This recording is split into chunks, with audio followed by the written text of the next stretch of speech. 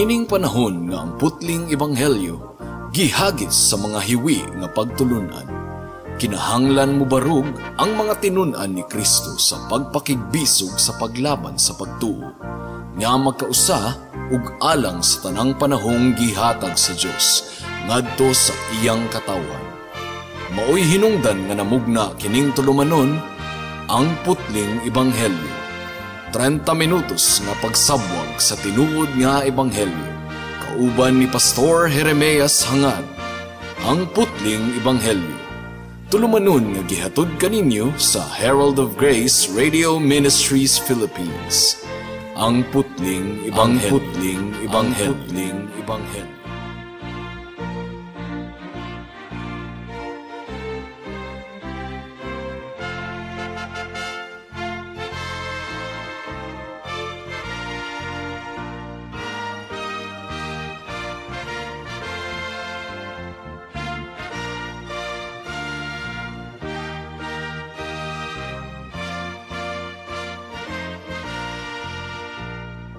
Atong ablihan ang atong Biblia sa Marcos Kapitulo 4, versikulo 1 hangtod sa 20. Ang giingon diri mga kaigsunan, Unya misugod na usab si Jesus sa pagpanudlo didto sa daplin sa lanaw sa Galilea.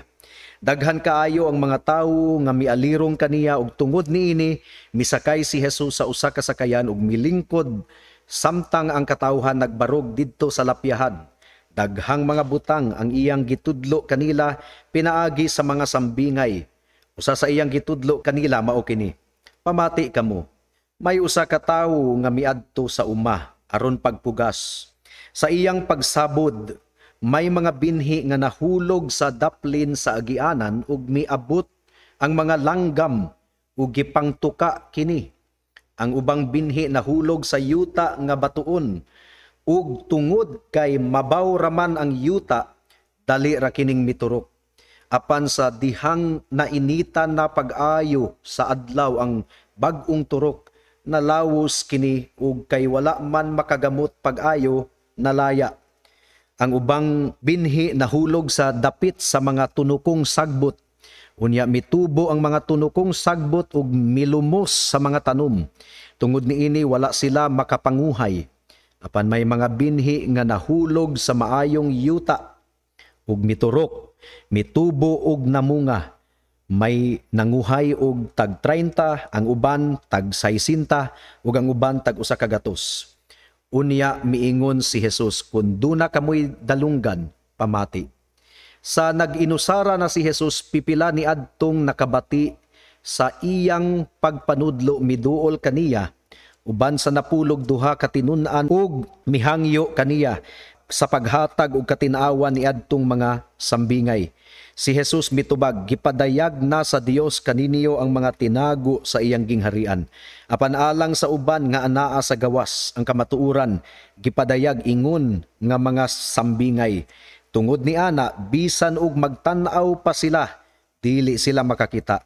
Ug bisag mamati sila dili sila makasabot kay tingali unyag mamalik sila sa Dios ug pasayloon niya sila. Unya nangutana si Jesus kanila, wala ba ninyo masabti ang sambingay? Nan unsaon man ninyo pagkasabot sa ubang sambingay? Ang gisabod sa magpupugas mao ang minsahi sa Dios. Usahay ang binhi nga mao ang minsahi mahulog sa agianan. Sama kini sa mga tawo nga makadungog sa minsahi apan moabot si Satanas ug musakmit sa mensahe nga gipugas diha kanila. Ang nahitabo sa mga binhi nga mahulog sa yutang batuon sama niini. May mga tawo nga makadungog sa mensahe ug mudawat dayon niini sa dakong kahinangup apan dili kini makagamot diha kanila busa dili sila mupadayon. Unya pag-abot sa mga kalisdanan ug mga paglutos tungod sa mensahe mubiya dayon sila. Ang ubang tawo sama sa binhi nga gipugas sa dapit sa mga tunukong sagbot. Mao kini sila ang makadungog sa mensahe. Apan ang mga kabalaka ni ining kinabuhia ang gugma sa bahandi ug ang nagkalain-laing matang sa mga pangandoy mupatigbabaw ug mulumos sa mensahe. Busa dili kini makapamunga. Apan ang ubang mga tawo sama sa mga binhi nga gipugas sa maayong yuta makadungog sila sa mensahe mudawat niini og mamunga. Ang uban 30 ka buok ang uban 60 ka buok ug ang uban usa ka gatos ka buok may the lord bless the hearing and meditation of his word. So ang atong gibasa ning takna sa kahaponon mga kaigsunan mao kini ang sumbingay sa atong Ginoo mahitungod sa usa ka magpupugas. Sa tanang mga sumbingay sa atong Ginoo mga kaigsuunan, mao kini ang pinaka well known, mao kini ang pinaka inila nga sumbingay. Ug ang mga tawo diri sa Pilipinas makarelate gayud kaayo niini nga sumbingay gumikan kay ang atong nasod usa ka agricultural country. Ug ang aplikasyon niini nga sumbingay mga kaigsuunan universal universal kung tun-an nimo kini nga sumbingay tanang mga tawo sa tibuok kalibutan makasabot gayod niini. So tun-an nato kung unsa gayod ang gitudlo ni Jesus niining sumbingay mahitungod sa usa ka tawo nga magpapugas. And obviously adunay upat ka matang sa yuta nga nahulugan sa mga binhi ug matod pa sa atong Ginoong Hesus Kristo katong upat ka matang sa yuta nagrepresent sa upat ka matang sa mga kasing-kasing sa mga tawo nga napugasan sa binhi sa pulong sa Dios. Ug ning takna sa kahaponon atong pagatun-an ang pinakaunang matang sa kasing-kasing sa tawo katong bantok nga kasing-kasing nga girepresentar sa mga binhi nga nahulog sa bantok nga yuta sa kadalanan. So mo kini ang atong tun-an ning takna sa kahaponon. Adunay duha ka bahin ang atong pagpamalandong una the description, ang paglarawan sa Ginoo niining matang sa kasing-kasing nga bantok nga gi-symbolize sa dalan nga bantok. Ug ikaduha, the interpretation. Ang interpretation niini mga kaigsuunan dili gikan kanamo nga mga magwalali gikan kini sa baba mismo sa atong Ginoong Hesus Kristo. Gipasabot niya sa iyang mga disipulo ang buot ipasabot sa sumbingay sa magpupugas. So safe kita. Gumikan kay gihatag na ni Hesus Kristo mismo alang kanato ang interpretasyon niini nga sumbingay. First of all, mga kaigsunan, the description ang paglarawan mismo or paghulagway mismo sa atong Ginoong Hesus Kristo sa unang matang sa yuta nga nahulugan sa mga binhi. Some seed fell on hard and fallow ground. Mao kini ang giingon sa English, pipila kuno sa mga binhi nahulog sa bantok nga yuta agianan sa mga katawhan. So adunay pathway, adunay dalan padulong sa umahan, ug katong mga nagdako sa mga baryo ug mga barangay sa atong nasod you know something about farming and you know something about gardening ug nasayod kita nga walay mga simento nga karsada sa atong probinsya adunay mga dalan nga agianan sa mga katawhan padulong sa kaumahan. Ug kini nga mga dalan bantok nga dalan gumikan kay kanunay kining natunob-tunuban sa tiil sa mga katawhan. O kining tawhana nagapugas sa mga liso apan adunay mga nangahulog sa bantok nga dalan.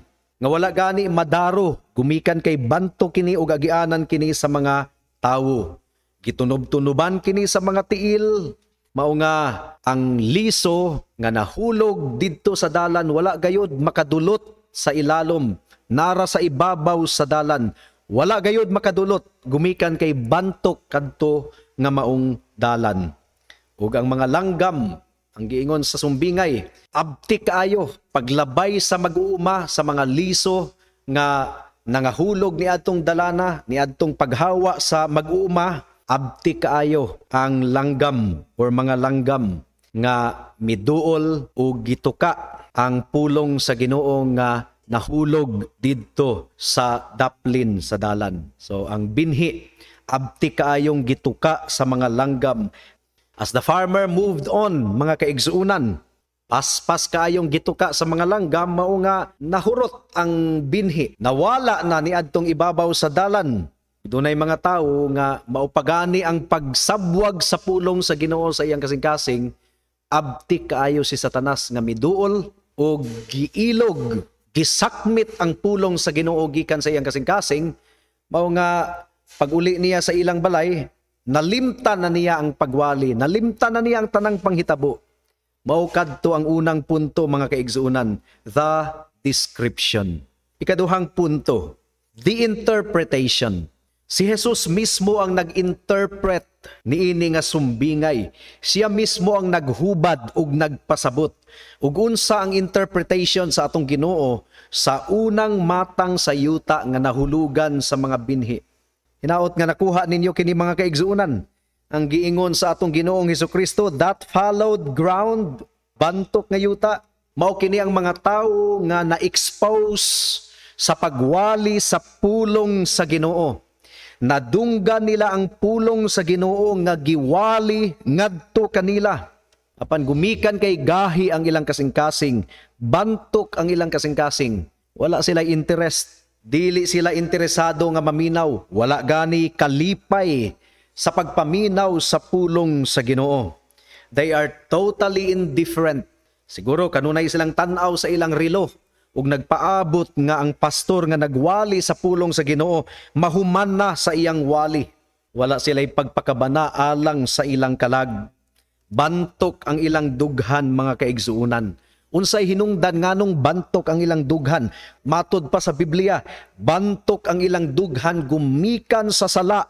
Bantok ang ilang dughan gumikan sa ilang naandan nga mga tradisyon.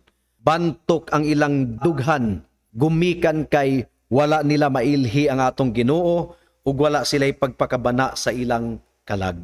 Basin og bantok ang ilang dughan, gumikan kay gibantok kini sa ilang gimatan nga relihiyon. Relihiyon nga wala gani pagpakabana mahitungod sa pagkabalaan ug wala nagawali isip pagkundinar sa mga sala sa mga katawhan. Usa ka relihiyon nga puro ritual ug puro mga tradisyon ug usa ka relihiyon nga wala gayud magbayaw sa pulong sa Ginoo ug sa ebanghelyo sa atong Ginoong Hesus Kristo. Basin og nabantok sila gumikan sa ilang mga tradisyon nga ilang gibalik-balik sa pagbuhat ang mga tradisyon nga mao ang nagtabon sa tinuod nga ebanghelyo ug mas pilion nila ang ilang naandan nga tradisyon kaysa sa pagsunod sa tinuod nga ebanghelyo. Ning takna sa kahaponon mga kaigsuunan. Basin og dunay mga katawhan nga nag-abli sa ilang Facebook o kining pagsibya sa atong panimbahon milabay sa ilang Facebook wall. Basin og adunay mga naminaw sa atong pagsibya sa radyo ning takna sa kahaponon.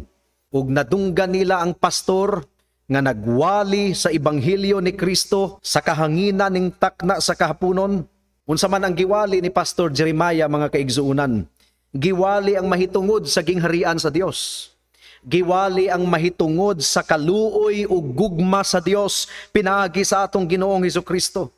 Giwali ang mahitungod sa pagkamakasasala sa mga katawhan, gumikan kay gisupak nila ang balaod sa atong buhi nga Dios. O gumikan kay sila nakasala, nakabsan sila sa himaya sa Dios, ug ang bayad sa sala mao ang kamatayon giwali nga dili kita maluwas pinaagi sa atong maayong buhat.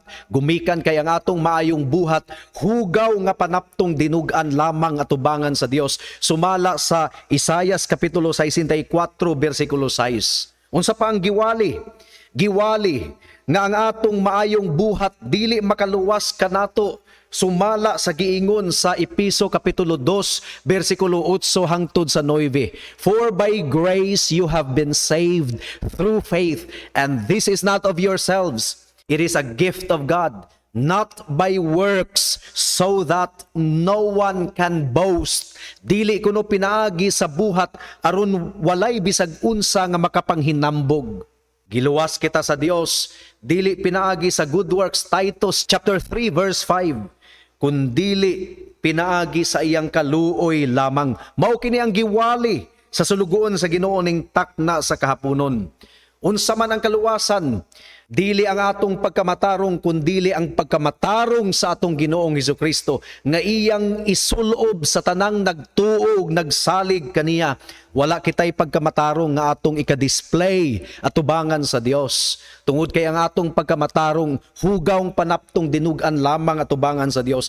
Dili madawat sa Dios ang atong pagkamatarong bisan pagbuutan kita sa atong pagpamati ang madawat lamang sa Dios ang hingpit nga pagkamatarong sa atong Ginoong Hesus Kristo and the good news is that kung imong ang kunon nga ikaw makasasala ug dili ka makaluwas sa sa imong kaugalingon ug kung imong saligan si Kristo sa iyang pagkamatarong ang iyang pagkamatarong isulob nganha kanimo. Unsa pa nga atong giwali Giwali nato nga ang bayad sa sala mao ang kamatayon. Kinahanglang muagas ang dugo. Gumikan kay kung walay pag-agas sa dugo, walay kapasayluan sa kasalanan. Well, si Kristo iyang gipaagas ang iyang dugo didto sa krus sa Kalbaryo ug sa wala pa siya mamatay misinggit siya natapos na. Unsa ang natapos?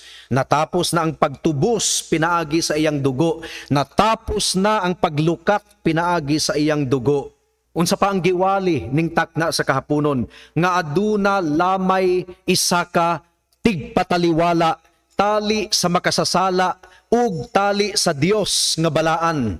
There is only one God and one mediator between God and men. Kinsa ang bugtong tigpataliwala si Kristo lamang. Unang Timoteo kapitulo 2 bersikulo 5. Unsa pa nga atong giwali? Nga si Kristo lamang mao ang dalan, ang kamatuuran ug ang kinabuhi, walay makaadto sa amahan kundili moagi kang Kristo. Mao kini ang giwali dinhi sa kahanginan. Apan ang mga bantok ug kasing-kasing, ang mga gahi ug kasing-kasing, mahimong mulingkod karon nadunggan ang ulipon sa Dios nga gawali sa iyang pulong ug sa ilang pagpaminaw karon wala sila'y pagpakabana. Wala sila'y interest. Ang ilang kasing-kasing gipagahi gumikan sa ilang kasalanan o gumikan sa ilang tradisyon o gumikan sa ilang relihiyon. Ang pulong sa Ginoo pagkahuman mismo sa pagsibya ning takna sa kahaponon gisakmit ni Satanas og pagkataod-taod nakalimtan na wala gani tingali muabot og pulo ka minuto nakalimtan na ang pagwali sa ebanghelyo. Our Lord said after the sower goes on, pagpadayon kuno sa mipugas sa mga binhi or pagkahuman mismo sa wali sa pastor or pagkahuman nga natapos ang pagsibya sa kahanginan, ang pulong sa Ginoo, ang binhi sa pulong sa Ginoo, naara sa ibabaw sa bantok ng kasing-kasing wala gayod makadulot sa ilalom. O gumikan kay naara sa ibabaw, nakitaan kini sa yawa, giilog dayon sa yawa, gisakmit dayon sa, sa yawa. Ug unsa ang gipuli sa yawa sa pagtanom, gisakmit sa yawa ang binhi sa pulong sa Ginoo, o gitamnan kini sa yawa ug uban pang mga butang. Sama sa Kinahanglan pa kong magandam og panihapon unya or kinahanglan pa kong muadto sa akong lula. Or kinahanglan pa kong mubuhat sa akong mga assignment sa eskwelahan ang akong module. Wa pa nako ma maansiri. Or kinahanglan nga mag-chat sa ami sa akong amigo. Wala gayod makadulot ang pulong sa Ginoo. Wala pa malandungi ang pulong sa Ginoo. Natamnan og uban pang mga butang Now, those things may not be sinful at all, pero kining mga butanga, mga valid nga mga concern sa kinabuhi, mahimong buhaton sa yawa aron atong makalimtan ang pulong sa Dios. You get up taken with things. Ang binhi, mao ang pulong sa Ginoo nga matinud-anon kaayong giwali nga kanimo bang napapas na evaporate milupad sa kahanginan sama sa nahitabo ni Haring Herodes.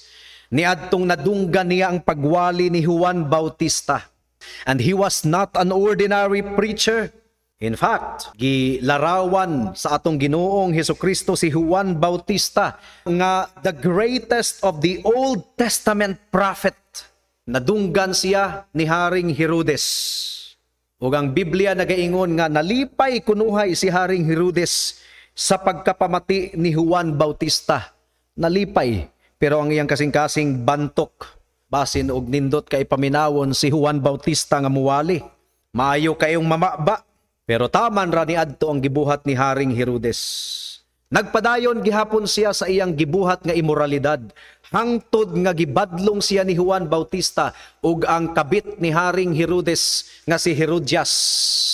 Ang kabit mga kaigsuunan nasuko usa ka babayi nga bantok gihapon og kasing-kasing and the rest is history tungod kay iyang gipapatay si Juan Bautista. Gahi ang kasing-kasing ni Herodes Gahi ang kasing-kasing ni Herodias nga iyang kabit gumikan sa kasalanan sa imoralidad, gumikan sa kasalanan sa sa kaulag. Ang pulong sa Ginoo wala katurok sa bantok nila nga kasing-kasing. John the Baptist was gone and Herod was still steeped in his rebellion and in his sin. Kinsa pa si Haring Agripa mga kaigsuunan. Si Haring Agripa nakapamati sa wali ni Apostle Paul. Mura og natandog og gamay si Haring Agripa. Pero gumikan kay giharian siya sa iyang ambisyon, giharian siya sa iyang garbo, ug sa pagpataas niya sa iyang kaugalingon, wala niya pakabanai ang wali ni Pablo. Si Governor Felix usab Mabasa nato kini sa libro sa mga buhat. Naminaw siya sa wali ni Pablo. Nahadlok siya. Nang luspad siya. Kay nahadlok siya sa wali ni Pablo. Pero gumikan kay bantok ang iyang kasing-kasing. Iyang gipaundang si Pablo sa iyang wali. Dili siya kasugakod sa pagpaminaw sa wali ni Apostle Paul. Mao nga iya kining gipaundang. You see, bisag unsa ka bantok sa kasing-kasing sa tawo gihatagan gihapon sa Ginoo tsansa ang usa ka tawo nga makapaminaw sa iyang wali. Mao nga sa adlaw sa paghukom wala nay excuse ang mga nagdumili sa pagtubag sa tawag sa atong Ginoo. Sa kalibutan karon, abundansya kaayo sa mga magwalali. Daghang gipang pang-assign ang Ginoo nga mga pastors sa nagkalain-laing dapit. Ang Biblia nagpabilin nga most published book all over the world. Daghan kayong translation sa Biblia sa nakalain-laing mga pinulungan. Nagpadala ang Ginoo daghan kayong mga missionaries sa nakalain-laing kanasuran. And yet, ang kasing-kasing sa mga tao nagpabiling gahi. Bisan ni ining atong dapit, nagpadala ang Ginoo og mga pastor nga nagsibya sa ebanghelyo Kumusta ang response sa mga tao, mga kaigsuunan? Nakigistorya ba ang Ginoo kanimo karon higala? Gipadayag ba sa Ginoo nga ikaw nagmagahi usab sa imong kasing-kasing? Hinaot nga pahumukon kini sa Ginoo. Hinulsuli ang imong pagkagahi higala ug gitugyan ang imong kinabuhi sa atong Ginoong Hesus Kristo. Ang sala mga kaigsuunan mangililad ang sala mao ang nagpagahi sa atong kasing-kasing. Ug ang sala mao ang hinungdan nga dili kita ganahan nga maminaw sa pulong sa Ginoo musunod niini. Mao kini ang unang matang sa yuta nga nahulugan ni adtong mga binhi. Mao kini ang grupo sa mga tawo nga nadunggan nila or napamatian nila ang mensahe sa ebanghelyo pero wala gayud sila tinguha sa pagsunod niini. Posible nga muadto usab sila sa simbahan, pero dili ang pagsimba sa Ginoo ug ang pagsunod sa iyang pulong ang naa sa ilang kasing-kasing, basin og nindot kaayo ang mga singers sa choir sa simbahan. Basin og nindot ang banda, ang music. Basin og duna sila gipangulitawan sa usa ka Christian church. Mao nga faithful silang musimba gumikan kay duna sila gipanguyaban Basin og duna sila mga business contacts sa church na membro sa church nga doktor, engineer, nanginahanglan sila og trabaho, sumuadto sila sa simbahan dili gumikan sa pagsimba sa Ginoo kun dili dunay mga business contacts, mga business interest.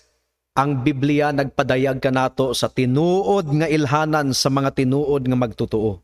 Unsa man nga ang mga ilhanan sa tinuod nga magtotoo. Juan kapitulo 10 bersikulo 27 mga kaigsuunan. Ang giingon diri, ang akong mga karnero mamati sa akong tingog. You see, usa na ka ilhanan sa tinuod nga karnero. Mamati sa tingog sa atong Ginoo. Nakaila ako kanila ug sila nagasunod kanako. Unsa ang ilhanan? Sa tinuod nga karnero ni Kristo nagasunod sa iyang pulong. Nagatamod sa iyang pulong. My sheep listen to my voice and I know them and they follow me. Ang giingon sa atong Ginoong Hesus Kristo kining mga tawo nga bantok ang ang ilang kasing-kasing indifferent sila sa pulong sa Ginoo. Indifferent pud pasabot wala sila'y pagpakabana. Bisan pag anaa ka sa simbahan sa sulod sa simbahan higala. You don't care about God's word. You have no desire to obey it. Kinahanglan nga mahimo kang concerned ni ana mga kahigalaan. Kulang kanimo or wala gayod sa imong kinabuhi ang ilhanan nga ikaw anak sa Dios. Kinahanglang maghinulsol ka sa imong sala ug mudangup ka kang Kristo. Pangayua kaniya higala nga iya kang kaluyan. And the good news is that ang matag usa nga muduol kang Kristo dili gayod niya isalikway. Mao kana ang iyang saad sa Juan kapitulo 6 bersikulo 37 may mga tawo nga nakapamati sa mga sermon naglingkod na naa sa simbahan pero ang hunahuna galatagaw. Kung dunay iro nga mulabay mas mulingi sila sa iro dayon kaysa maminaw sa pulong sa Ginoo. Kung dunay bata nga muhilak mas didto sila mag-focus sa bata nga muhilak kaysa maningkamot aron mamati sa pulong sa Ginoo. They go to a place of worship tungod kay uso ang pagsimba siguro sa ilang clan ug daghan daghan silang mga barkada dito sa church. But they take no interest whatever in the preaching of the gospel. Ang ebanghelyo wala gayod nakabunga sa ilang kinabuhi. Pero mao kini ang challenge higala kung ang description sa bantok ng kasing-kasing mao ang description sa imong kalag ning takna sa kahaponon, dangop kang Kristo. Kung wala kay gana sa pagpaminaw sa pulong sa Ginoo, paminaw sa pulong sa Ginoo. Kinahanglan gayod nga imong pakigbisugan ang pagkawalay gana nga maminaw sa pulong sa Ginoo kay ngano man Roma kapitulo 10 bersikulo 13 hangtod sa 17 ang giingon diri sumala sa kasulatan ang tanan nga magsangpit sa ngalan sa Ginoo maluwas. Apan unsaon manila pagsangpit kaniya kung wala sila mutuo? Ug unsaon manila pagtuo kung wala sila makadungog sa mensahe? Ug unsaon manila pagkadungog kung walay magwali niini ug unsaon manila pagwali sa mensahe kung walay gipadala nga magwalali Sumala sa kasulatan pagkatahom sa mga tiil ni adtong nagwali sa maayong balita. Bersikulo 17, busa ang pagtuo nagikan sa pagpamati sa mensahe ug ang nabati nagikan sa pulong ni Kristo. Kung wala kay gana nga maminaw sa pulong sa Ginoo, tungod kay bantok ang imong kasing-kasing, paminaw gayud. Gumikan kay ang tinuod nga pagtuo nagikan kuno sa pagpaminaw sa pulong sa Ginoo. Ug kung ang imong kasing-kasing nabati nimo nga gahi tig-a kaayo, adunay saad ang Ginoo sa tanang mga nagpaubos. Ezekiel kapitulo 36 verse 26 and 27. Matod pa diri mga kaigsuunan. Hatagan ko kamog bag-ong kasing-kasing. Praise God. Saad kini sa Ginoo, hatagan ko kamog bag-ong kasing-kasing ug bag-ong espiritu ug kuhaon ko ang inyong kasing-kasing nga gahi sama sa bato ug ilisan ko kinig kasing-kasing nga unod nga masinugtanon. You see, saad kini sa Ginoo. Ayaw na paglangan-langan higala. Dili ikaw makaluwas sa imong kaugalingon. Wala kay gahom nga bag-uhon nimo ang imong kasing-kasing ug wala usab ikaw gahom nga papason ang imong bad record in the sight of God. Kinsa ang adunay gahom? Si Kristo. Kinsa ang adunay pagkamataro nga igasuloob kanimo aron madawat ka sa atong buhi nga Dios?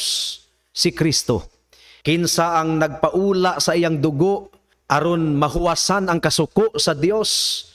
Sa kasalanan sa mga tao gumikan kay ang dugo maulamang gayod ang makapahuwas sa kasuko sa Dios without the shedding of blood there is no forgiveness of sin. Si Kristo. Si Kristo lamang ang adunay pagkamatarong ug adunay dugo. Ug nagsaad ang atong Ginoo nga iya kining ihatag sa bisan kinsa nga nagatuo ug nagadangop kaniya nga adunay paghinulsol sa sala. So ayaw na paglangan-langan Duol kang Kristo karon. Dili kaniya balibaran, dili kaniya isalikway. Luwason kaniya, pasayloon kaniya higala. Amen. Alang sa dugang nga mga pangutana, mahimong mo text kang Pastor Jeremias hangad sa 0935 744 3030.